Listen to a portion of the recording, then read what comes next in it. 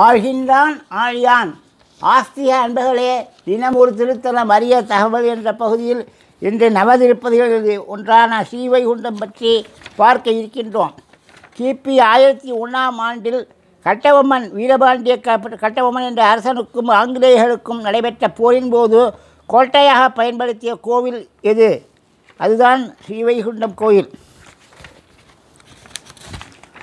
தசாவதாரங்களும் கோள்களும் திருவாளின் பத்து அவதாரங்களும் அவற்றுடன் தொடர்புடைய நவகோள்களும் பின்வருமாறு. ராமர் அவதாரம் சூரியன் கிருஷ்ணன் அவதாரம் சந்திரன் நரசிம்மர் அவதாரம் செவ்வாய் கல்கி அவதாரம் புதன் வாமன அவதாரம் குரு பரசுராம அவதாரம் சுக்ரன் கூர்ம அவதாரம் சனி மச்ச அவதாரம் கேது ராகு இரட்டை திருப்பதி தேவபீடான் கேது இரட்டை திருப்பதி அரவிந்தலோஜனன். நவத்திருப்பதி ஸ்தலங்கள் அனைத்தும் நம்மாழ்வாரால் மங்களாசாசனம் செய்யப்பெற்றவை ஆகும். திருவைகுண்டம் நகரில் வீரகுப்தன் என்ற புகழ்வாய்ந்த வணிகருக்கு காலதூஷகன் என்ற மகன் இருந்தான். இவன் பிறகு பொருளை திருடும் குணம் கொண்டவன். இவன் திருடச் செல்வதற்கு முன் திரு வைகுண்டநாதனை சேவித்து தான் திருடும்பொழுது யாருடைய கண்ணில் படாமலும் யாரும் பிடிபடாமலும் இருக்க வேண்டும் என்று வேண்டிக் கொண்டு திருடிய பொருளில் பாதியை ஆண்டவன் சந்நிதியை சேர்த்து விட்டு மீதி இருப்பதை என் நண்பர்களுக்கும் ஏழை எளியவர்களுக்கும் கலைஞர்களுக்கும் தர்மம் செய்து வந்தான். முற்பிறவி செய்த புண்ணியத்தின் பலனாக ஸ்ரீ வைகுண்ட தலத்தில் கலச தீர்த்தத்தில் நீராடி பெருமாளை சேவித்து வாழ்த்து வாழ்ந்து வாழ்ந்து வந்தான். இவ்வாறு இருக்க ஒரு நாள் நள்ளிரவில் மணப்படை ராஜ்யத்தின் அரண்மனையில் பெரும் பொக்கிஷங்களை கொள்ளையடித்து தப்பி வந்தான். ஆனால் இவனது சகாக்கள் காவலாளிகளிடம் பிடிபட்டனர். இவர்களின் மூலம் விவரங்களை தெரிந்து கொண்ட அரசன் காலதூஷகனை சிறைபிடித்து வர காவலாளிகளுக்கு உத்தரவிட்டான்.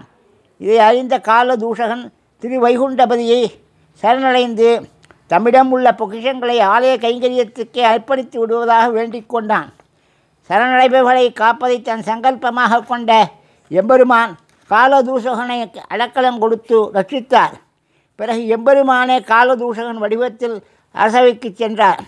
அரசரும் கல்வ தலைவன் வேடத்தில் இருந்தவரை நோக்கி திருடிய உம்மை பார்க்கும் பொழுது எனக்கு கவனையே ஏற்படுகிறது. நீ யார் எனக் கேட்டார்.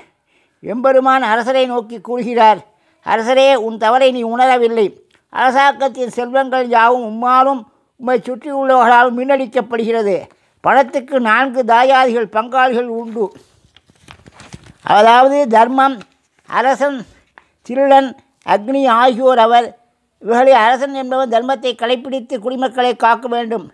நீவில் அவ்வாறு செய்ய தவறியதால் அதை உனக்கு உணர்த்தவே இத்திருவிளையாடல் நடத்தினேன் என்றும் நான் உலகை காக்கும் பெருமாள் என்றும் கூறி அரசருக்கு ஞானத்தையும் நல்ல புத்தியையும் எடுத்துரைத்தார். கள்ளனை காத்ததன் மூலம் திரு வைகுண்டபதி கள்ளபிரான் சோரநாதன் என்று அழைக்கப்பட்டார். திரு வைகுண்டபதி விக்கிரகமும் சிறிய சந்நிதியும் காலச்சுழற்சியினால் சுழற்சியினால் பூமியில் மறைந்து விட்டது அச்சமயத்தில் பகுதியை பாண்டிய அரசர் கொற்கை பணப்படை வீடு போன்றவற்றை தலைநகராக கொண்டு ஆட்சி புரிந்து வந்தனர் இப்பகுதிகளில் அரண்மனை பசுக்கள் மேய்வது வழக்கம். இப்படி பசு கூட்டத்தில் ஒரு பசு வைகுண்டபதி உதையுண்ட இடத்துக்கு நேர்மேலே உள்ள பிளத்வாரத்தில் தினமும் தன பாலை சுரிந்தது இதை கண்ட பசுமேய்ப்பவர் அரசரிடம் தெரிவித்தார்.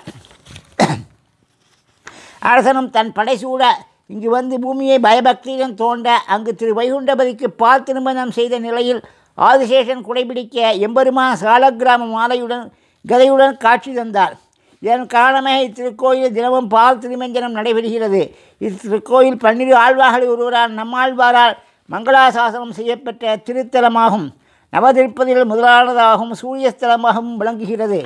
இத்திருத்தலமானது நவதிருப்பதியை முதலாம் திருப்பதியாகும். நூற்றி எட்டு திருப்பதி திவ்யதேசங்களில் ஐம்பத்தி நான்காவது திவ்யதேசமாகும்.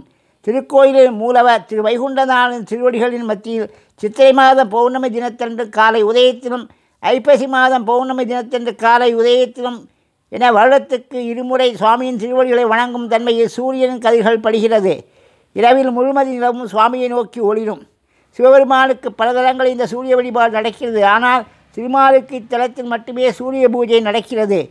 இத்தலத்து சுவாமியை வணங்குவதால் சூரிய தோஷம் பிதிரு தோஷம் விலகுவதாக நம்பிக்கை. வரலாற்று சிறப்பு. கிபி ஆயிரத்தி ஒன்றாம் ஆண்டில் கட்டபொம்மன் வீரபாண்டிய கட்டபொம்மன் என்ற அரசனுக்கும் ஆங்கிலேயர்களுக்கும் நடைபெற்ற போரின் போது திருக்கோயில் கோட்டையாக பயன்படுத்தப்பட்டது. இந்த பெருமாளுக்கு பால்பாண்டி என்ற ஒரு சிறப்பு பெயரும் உண்டு. ஸ்ரீமதே ராமானுஜாய நமகம்